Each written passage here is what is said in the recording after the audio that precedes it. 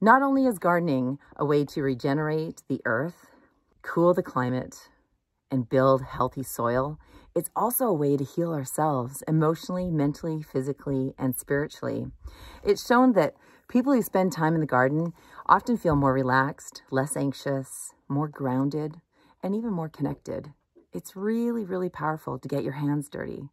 Not only is it good for our mental health, it's also shown to be good for our physical health because instead of eating food that's been picked and shipped miles and miles and miles to get to us, we're eating food right out of our own backyard or right off of our uh, the pots on our balcony or maybe off your windowsill if, if that's all you have. Like for example, even though I have this massive 20 acre farm here in the middle of Saskatchewan, in the winter, not much grows outside. Well, let's be honest. The trees survive, but nothing else really grows outside.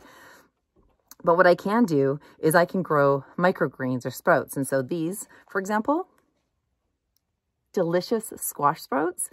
I started growing squash seeds throughout the winter and eating them, putting them in stir fries, just breaking one off and chowing down on it as I walk by it or I toss a few in salads. They're super high in nutrients and they're really yummy and easy to grow. And when I lived in BC, I threw them away, the squash seeds away all the time, or like I composted them. But now I make use of any seed that will grow a little green for me in the winter that I can. I'll, also, uh, we can save food that we grow in our gardens throughout the year. So this is a squash that I grew last year in the garden. And then these are some herbs that I dried super yummy. We've got sage and thyme there and a little bit of uh, rosemary. And uh, on the stove, I have some canned tomatoes that are simmering away to make some really yummy chili with some beans that we dried.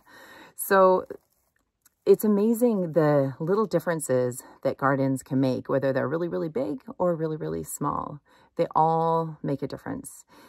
And I just really encourage you to grow something maybe new that you haven't grown the, grown before, or if you've never grown anything before, just plant a seed and watch it grow. I remember, really quick story, I remember after I had a, a brain injury in 2003, I was knocked really hard on the head.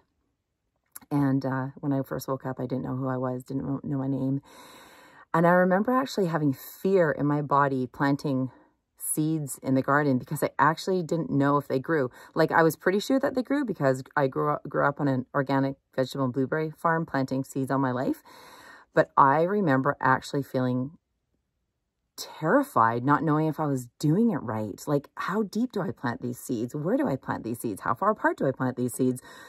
I couldn't remember anything about planting a seed. And so I just, some, I just kind of guessed. I put seed in the ground.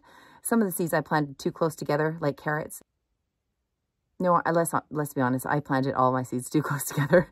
But you know what the cool thing was? They all grew. They all grew. And I think it doesn't matter what we're growing or where we're at in our gardening and growing our own food process, whether we're a big, massive farmer or if we're a, a, a gardener growing spouts and microgreens on our on our windowsills, it all makes a difference. It makes a huge carbon footprint difference. It helps mitigate our carbon footprint that we're making by cutting down the miles that food travels and by waking up soil so that it can draw down carbon from the atmosphere. I remember one of my, another really quick stories, another one of my girlfriends, what her first uh, gardening experience was growing herbs. And that's all she put in the garden was just pots of flowers and herbs. And then she started taking those herbs and putting them in her salads. And she learned how to put them on on her vegetables after she's seen them and put them with her eggs. And um, she used them as in, in marinades. She used them all in all different types of places. And it really evoked and helped nurture a love of food and growing her own food. And then the next year she expanded to lettuce and some other edible easily, easily grown um, edible foods in pots. So it doesn't matter where you are. Just start, plant some food, get your hands dirty, and have fun doing it. Be creative, be adventurous, and see where it takes you. Big love. I'm Natalie Forstbauer from Heart and Soil, and I'm really excited you're joining us for the first special issue gardening hacks. Make yourself an amazing day. Big love. Mwah.